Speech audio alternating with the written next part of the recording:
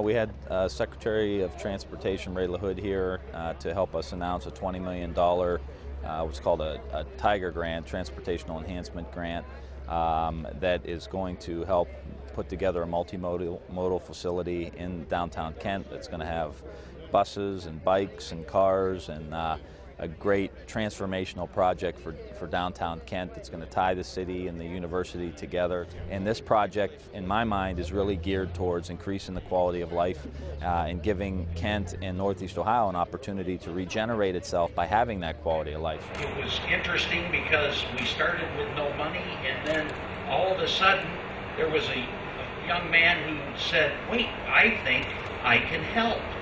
And we said, well, we sure could use all the help we can get, and we need some money to be able to further this program. So sure enough, he came up with some money. And he not only did it once, he did it for several years, which allowed us to build the program to the point that it was shovel ready. This money is paid for by the stimulus package. Through the stimulus package, the Tiger grants came and then this project came. Sherrod Brown left his mother's calling hours in Mansfield, Ohio, flew back to D.C. to cast a deciding vote for the stimulus package. So Sherrod Brown, who couldn't be here today, uh, is honored here today for making this project a success to show how committed he was to that. And PARTA understands that going green is not only good for our environment and is not only good for the bottom line, as so many of us know, but it is also good for job creation right here in Ohio.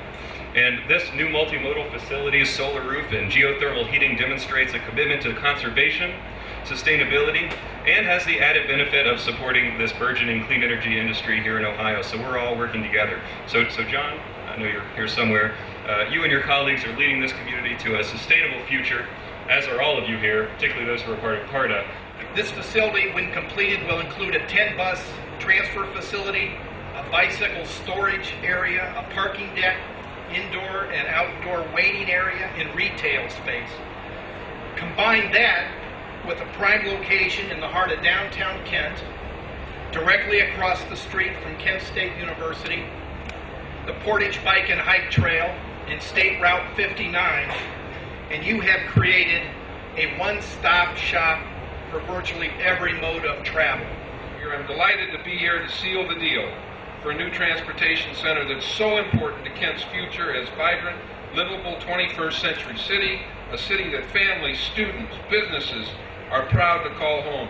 The local transit district has, has great leadership. You've set a great example for what a community can accomplish when local leaders get their priorities straight and then work together to achieve them. The $20 million Tiger Grant Agreement we're signing today will help revitalize Kent's downtown business district and build the kind of infrastructure you need for a new century and a new economy. And I want to thank everyone here, uh, the leaders of Kent, Portage County, and Ohio, for embracing this opportunity, for believing in your community and working together uh, to make this a great place for the future.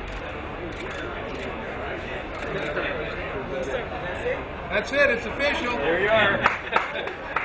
Dr. Lefton was a key figure here because um, when universities sometimes get involved in things, they don't want to ha have anything to do with the city. They don't want to have anything to do with the county. They want to be an entity unto themselves. And uh, President Lefton, I think, showed a tremendous amount of leadership here by engaging the city, engaging the council, engaging the county, engaging PARTA to make sure that this deal gets done. Not just so the deal got done, but then double down and say we want to do a conference center, we want to do a hotel. We, we're also doing you know, over $200 million worth of construction to the, to the campus. All of this is coming together, and that doesn't happen without leadership.